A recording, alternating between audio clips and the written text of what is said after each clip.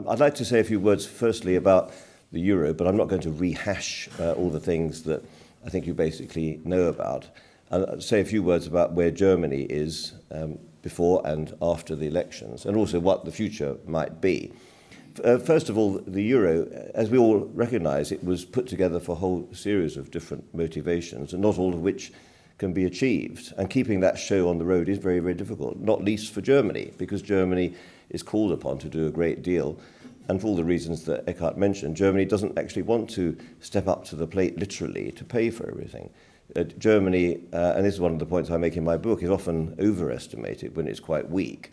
It's underestimated when it's quite strong. And I put forward a, a number of occurrences since 1870 when foreigners tend to have the wrong impression of Germany uh, at a time when it's absolutely opposite to how the foreigners see it. One example, I think, was in 1989-1990 when both François Mitterrand and uh, Mrs. Thatcher both thought that the Germans would be incredibly strong after being unified. Mrs. Thatcher even thought that the birth rate would go up. I mean, she was really very badly informed. I actually myself thought that Germany would be relatively weak.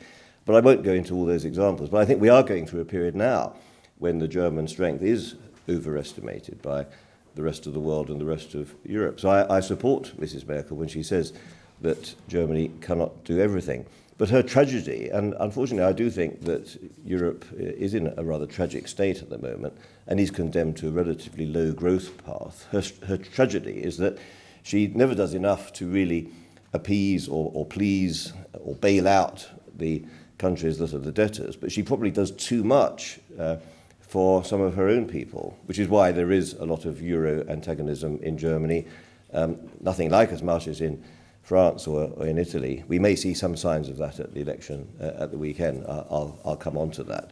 As far as Ireland is concerned, I've said this many times before, I think Ireland will stay the course, uh, not least because eight years of the Troika is better than 800 years with England. Uh, uh, uh, and, and that would be your alternative. And I think um, uh, people do admire Ireland for the fact that you, you went on a bit of a binge, you had a party, uh, the Irish people very intelligent, educated people, they realised that things got a bit excessive. And then you've had to row back, and, and you've done it very successfully. And, and I think Ireland will stay the course because Ireland wants to stay in. You want to be there in the major club of Europe. I also think the euro will stay together. Um, I, I actually don't think it's all going to fall apart. I think there's a, a danger that one or two of the peripheral countries will simply get tired of the whole thing. But I think it's a very long-running story. Um, uh, and we're not, probably not even halfway through this uh, Shakespearean uh, play. Just in terms of Germany um, and the election, uh, I think it's an extraordinarily fascinating and exciting election. We couldn't expect the ambassador to go into too much detail, but let me just make five points about the election, uh, all of which I think are really sublime uh, and, and interesting. Um, one is that I think that the coalition that people think might be occurring when the results come out on Sunday night probably won't be the one that we have at the end. I think it's, it's going to be four to eight weeks of really uh, almost Italian style bargaining. We, may, we might end up thinking that Italy is a relatively stable place after the four to eight uh, weeks of coalition bargaining that will come across uh, in Germany. The second point is that we have to watch also the Hessen elections taking place on the same day, which are also on a knife edge, with the major blocs uh, running neck and neck, if you count the left against the, the right. And that's going to have a big impact because if the CDU uh, run out of states where they've got votes in the Bundesrat it's going to be de facto a grand coalition in Berlin. And as you've all noticed, Mrs. Merkel is certainly not uh, played her cards in a very visible way. She's clearly a very opaque politician. That explains a lot of her success. Uh, she's managed also to dispossess herself of many uh, of her rivals who've become her victims. But that is also a weakness because there's nobody obvious to take over from her. And we can see that in the lack of CDU support in the Länder, uh, and one of them may go again on uh, in Hessen, depending on what happens there, then we will have de facto a grand coalition, whatever happens in Berlin. The third point is it's really strange to think that we, we might have a grand coalition, even though the CDU and the SPD in opinion polls are between 12 and 10 percentage points apart from each other. Normally, a grand coalition in the times when we've had it in Germany, or in, indeed in any other country, happens when there's more or less parity. There's, there's a bigger difference between the CDU and the SPD than there has been any election in Germany since 1957, when Konrad Adenauer, for the first and only time, won an absolute majority. So there'll be a lot of enmity and ill feeling amongst the CDU if there is, in the end, a grand coalition. It won't make a very happy time. Um, the, the, the fourth point is that all these parties, their nature will change um, depending on whether they are in government, half in government, or in opposition.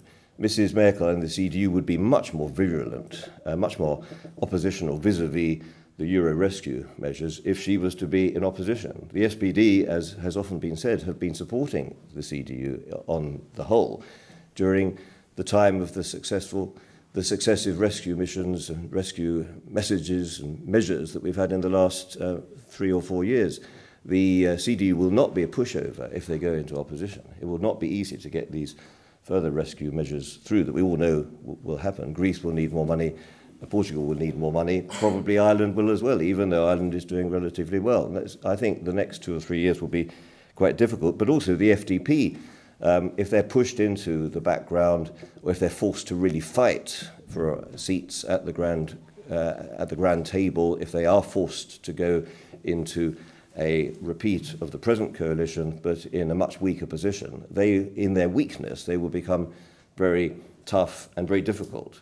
Um, the, the fifth point, I think it is something of a tragedy that Peer Steinbrück, who I would say is um, by far the most um, intelligent politician in Germany and also has got a good deal of extremely useful experience during his time as the Minister President in Nordrhein-Westfalen and also as finance minister. Almost certainly he will retire from politics. I think that's a, a dreadful waste, actually, because it's very unlikely that he'll be Chancellor in almost any, any constellation. And he said, I believe him, that he won't go on, he won't become serving in a grand coalition. I would like him to reconsider that, actually.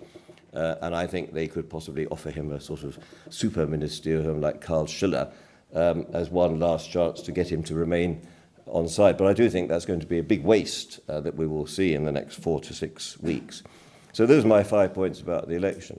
Uh, just in terms of the future, and, and very, very quickly, I, I do think that the British have become actually more European over the last 15 years. You might think this is all a bit paradoxical because we have to talk about wanting to leave the EU and so on. But in terms of the trade and investment relationships, in terms of the personal relationships that there are, just look at the number of young people flying every weekend to Berlin. I happen to think that uh, Ryanair, to, to quote one of your local heroes, uh, and, EasyJet, they've done far more for European integration than any number of European commissioners. I, I actually do think the Brits have become quite European. We trade a lot with the Germans. Um, when Eckhard kindly said that they do a lot of trade with the BRICS, I thought he meant with the Brits, uh, because in fact uh, Britain uh, uh, has now become the biggest trading partner of Germany, exports and imports. Unfortunately, many more imports than exports. But the British, strangely enough, have integrated more with the euro area over the last uh, 15 years than, than the Germans have. The Germans have been integrating with the non-euro area, which is all rather paradoxical, because the whole point was to bind you into Europe. You've become bound into non-Europe. Anyway, I, I do think that um, a future where people like us can debate these things in, in a sensible, pleasant way, and also where there is a lot of genuine interaction between places like Britain and Ireland uh, and Germany is the kind of Europe that I want and I want to be in. I couldn't really care less about the currency. The, the currency is a nice thing to have. You can have debates about it. People can do trade with each other uh, with the currency fluctuating slightly as it is as is as it is now. You can also write books about it, and it kind of keeps discussions going. If you run out of things to do at a bus stop in Germany, you can always start talking about the euro. It guarantees you instant. Uh, conversation. The, the euro clearly does bring people together. Uh, it is also true. And I think the euro also makes Europe more interesting than, than it would otherwise be. But basically, the euro is a bit of a red herring. I actually also think that between Britain and Ireland and Germany, there is a current. And I'm very pleased that over the last five years, for all sorts of reasons, the current between Britain and Ireland has improved a great deal. And I do think that is what Europe is all about. So I would say long live the euro, but there's many things about Europe that are far more important. Thank you very much.